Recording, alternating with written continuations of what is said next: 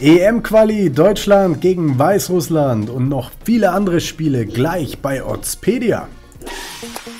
Oddspedia, the Sports Betting Community.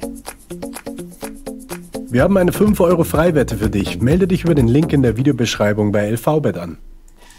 Ja, hey Chris Custodian. Heute keine NBA, heute wieder mal Fußball. Und wir haben gleich einige Spiele, deswegen fangen wir gleich an mit den Türken gegen die Isländer. Was sehe ich denn da? Eine Quote von 5,1 auf Island und 1,79 auf die Türkei. Sind die denn so hoher Favorit? Scheinbar, aber wie du weißt und was ich dir nicht erzählen muss, dass die Isländer ja die letzten vier oder vier der letzten fünf direkten Duelle gegen die Türkei gewonnen haben und auch in der Tabelle dieser Gruppe stehen die Isländer noch mit einer Minimalhoffnung auf die EM auf Platz 3. Das heißt, sie müssen in der Türkei gewinnen. Allerdings wird das schwer genug. Die Türkei will natürlich auch zur EM, aber dafür habe ich eine bessere Wette als jetzt auf irgendeine Mannschaft zu setzen rausgefunden. Und zwar, dass hier eine Menge Tore fallen oder zumindest mehr als 2,5 Tore. Und da kriegt mhm. man eine doch sehr attraktive Quote von 2,09. Radek, das macht absolut Sinn, denn Island kann sich nicht leisten, defensiv zu spielen. Die müssen Tore schießen. Die Türkei kann Tore schießen. Über 2,5 Tore bei dieser Quote auf jeden Fall eine sehr gute Wette, finde ich. Mhm. Und ich habe das hier schon als Prediction mal eingeloggt. Dann können wir nämlich weitergehen zum nächsten Kracher dieses 14. Novembers. Und zwar die Tschechen empfangen den Kosovo. Oh, der Kosovo in Tschechien. War da nicht irgendwas mit Tschechien und dem Engländer? Könnte sich das gleiche wiederholen mit dem Kosovo? ja, gut, die Tschechen haben überraschenderweise zu Hause England 2-1 besiegt und wir hatten eine Wette auf Tschechien. In dem Fall wage ich jetzt äh, keine Wette auf die Tschechen mit 1,7, denn Kosovo in der Tabelle Dritter, fast punktgleich, ein Punkt dahinter, hinter den Tschechen. Die können noch zur EM fahren und das wäre eine Premiere für das kleine junge Land und ich schätze, die werden sich hier aufopfern in der Tschechei und alles geben. Die Tschechen ebenso. Ich denke, auch hier könnte man durchaus auf ein paar Tore setzen und wenn man die Quoten anschaut, ist da auch ähm, mit 1,88 durchaus ähm, eine gewisse Attraktivität dahinter, für mich zumindest gut genug, um das auch einzuloggen. Gefällt mir. Gefällt mir diese beiden Torwetten. Äh, weitere Spiele haben wir ja auch noch morgen Donnerstag. Und zwar hätte ich mir zwei Tipps von diesem Spiel noch rausgesucht. Das eine wäre Frankreich-Moldawien gewesen. Und Auf Frankreich, oder? 1,02. und das andere ist Serbien-Luxemburg.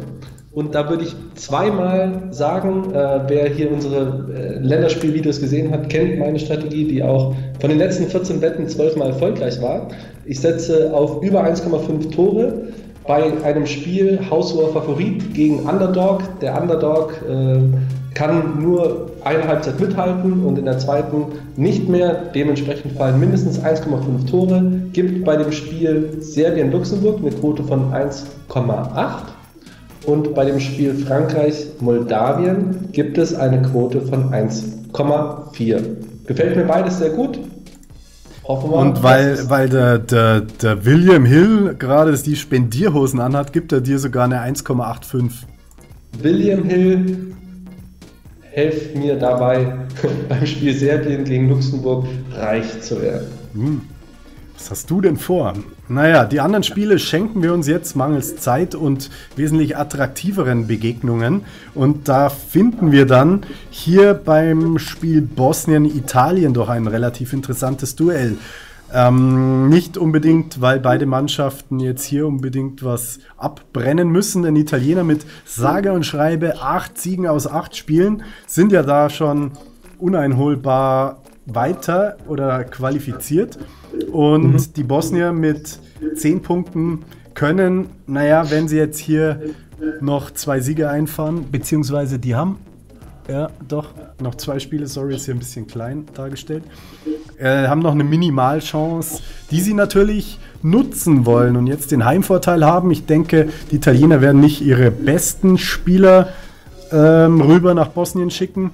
Und von daher auch hier für mich eine Wette, bei der ich entweder auf Bosnien gehen würde, weil, wie gesagt, Italien es nicht mehr so nötig hat, oder auch davon ausgehe, dass hier mehr als 2,5 Tore fallen, eben weil die Italiener nicht die besten Spieler ähm, an den Start bringen vielleicht und es nicht mehr nötig haben zu gewinnen. Und Bosnien durchaus es äh, noch nötig haben könnte und alles geben wird vor heimischem Publikum, äh, sind sie natürlich super motiviert. Die Quote von 1,95 auch hier absolut Zucker und deswegen lasse ich mich da nicht lumpen.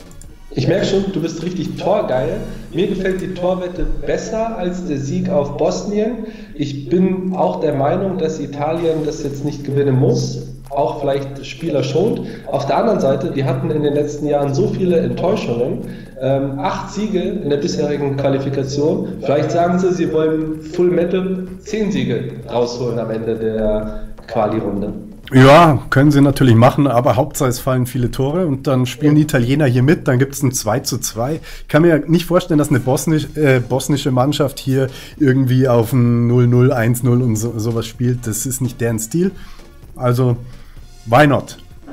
Bin ich bei dir. Ja, wenn ihr äh, Tipps dazu habt, Anmerkungen, dann unten rein in die Kommentare. Auf keinen Fall Daumen runter, Daumen nach oben. Ich meine nur unten in die Kommentare kommentieren. Ansonsten, was haben wir noch? Spiele am 16. November.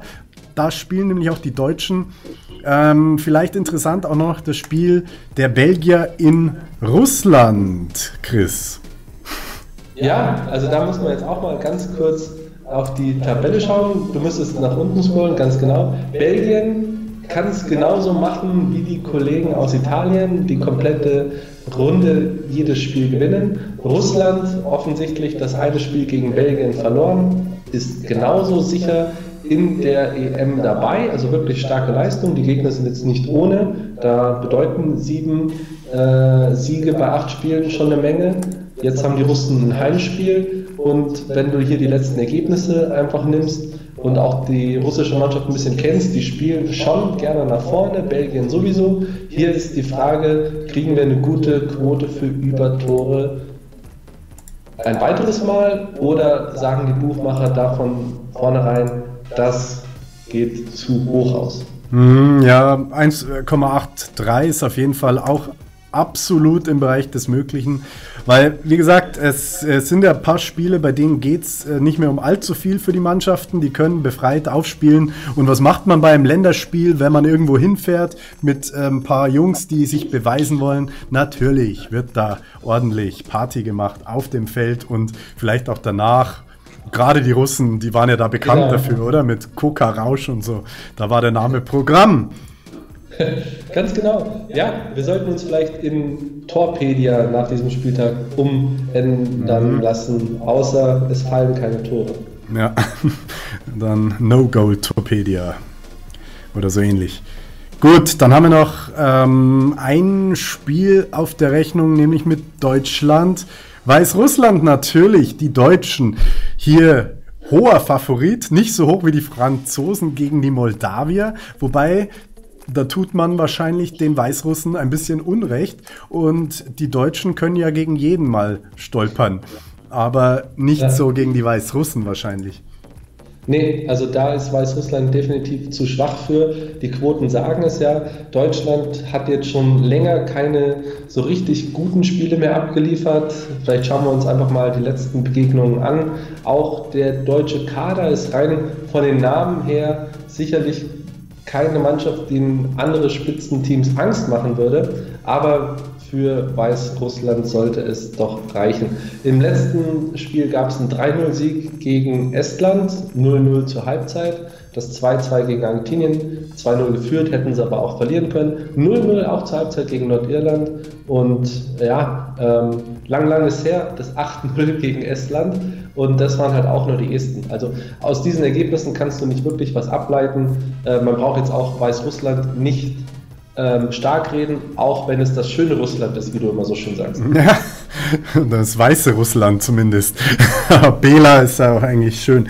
Ähm, was mir aber auffällt, natürlich haben sich die Weißrussen in Spielen gegen die Niederländer oder auch gegen Wales äh, teuer verkauft. Da dachte man wahrscheinlich, die werden abgeschlachtet. Wurden sie aber nicht. Und äh, mhm. ähnliches könnte man jetzt bei Deutschland auch erwarten bei der Quote. Und äh, bei solchen, äh, da haben wir das klassische Bayern München-Phänomen. Deutschland haushoher Favorit, ohne wirklich gegen schwächere Teams auch so krass überzeugt zu haben. Auch keine besonders super stark eingespielte Mannschaft. Auf der anderen mhm. Seite halt äh, Weißrussland, die auch schon gegen vielleicht sogar ein bisschen stärker einzuschätzende Holländer sich teuer verkauft haben. Sollen wir hier gegen äh, unsere Deutschen wetten oder was äh, fällt dir da ein bei einer Quote von plus 3 äh, Asian Handicap? Mhm. Äh, Quote ist natürlich ähm, 1,91. Also, die. Vielleicht kannst du noch ein bisschen weiter runter scrollen. Ähm, ne, also, ob Deutschland mit vier Toren gewinnt und dafür brauchst, kriegst du dann eine Zweierquote, da würde ich ja sogar eher auf äh, Weißrussland tendieren. Allerdings muss man jetzt auch, wie gesagt, die Weißrussen nicht stark reden. Und bei Deutschland, das kann es schon sein, dass die vielleicht jetzt endlich mal einen raushauen und wenn sie vielleicht ein frühes Tor schießen, wer weiß das so genau. Ähm, ich bin bei dem Spiel vor allem wieder interessiert bei meinem Lieblingstipp. Was passiert denn, wenn über 1,5 Tore in der zweiten Halbzeit ähm, fallen? Und äh, du zeigst hier eine potenzielle Mannschaft. Da sind von den Namen her wüsste ich nicht, warum die das 4-0 gewinnen sollten. Muss ich ganz ehrlich sagen. Warum, ich meine, Marco Reus angeschlagen sowieso, ich glaube jetzt gar nicht mal, dass der mitspielt. Äh, warum sollten Luca Waldschmidt und Co. Tore schießen und Serge Gnabry braucht ja auch mal eine Pause. Vielleicht experimentiert Löw sogar bei diesem Spiel. Ja, das würde ja für ein Asian Handicap auf äh, die schönen Russen äh, klar gehen. Und warum machen wir es nicht einfach? Ich meine, äh, wir, wir sind ja jetzt hier da, um Tipps abzugeben und wir sind uns ja. beide einig, dass wir den Deutschen weniger einen äh, Sieg mit vier Toren zutrauen als jetzt Weißrussland, dass sie es vielleicht äh, spannend machen. Mhm.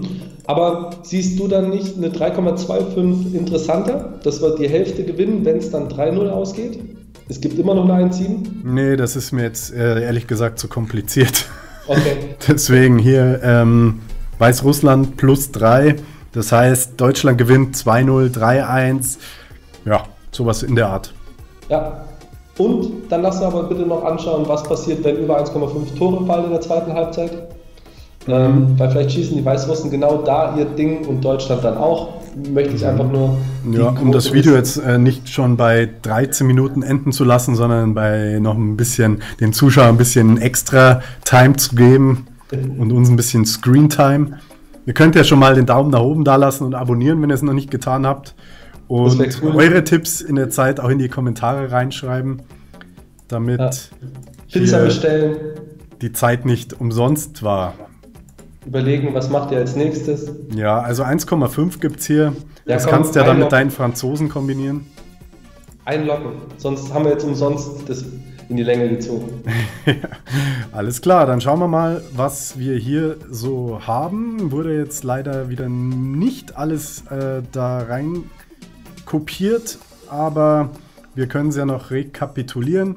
Wir hatten auf jeden Fall über 2,5 Tore bei Russland-Belgien, dann über 2,5 Tore bei Tschechien-Kosovo, über 2,5 Tore bei Bosnien, Italien. Bosnien, Italien und über 2,5 Tore bei Türkei gegen äh, Island. Und dann halt äh, Asian Handicap plus 3 auf die Weißrussen und Chris Asian Handy, äh, nee, Chris over 1,5, zweite Halbzeit bei Serbien. Gegen Luxemburg. Und eben bei Frankreich Deutschland. gegen Moldawien und Deutschland gegen Weißrussland. Ja, ist doch schon mal etwas. Dann vielen Dank fürs Zuschauen. Bis zum nächsten, nächsten Mal Video. nach dem Deutschlandspiel für das darauffolgende Deutschlandspiel. Nice. Oddspedia, the Sports Betting Community. Wir haben eine 5 Euro Freiwette für dich. Melde dich über den Link in der Videobeschreibung bei LVBet an.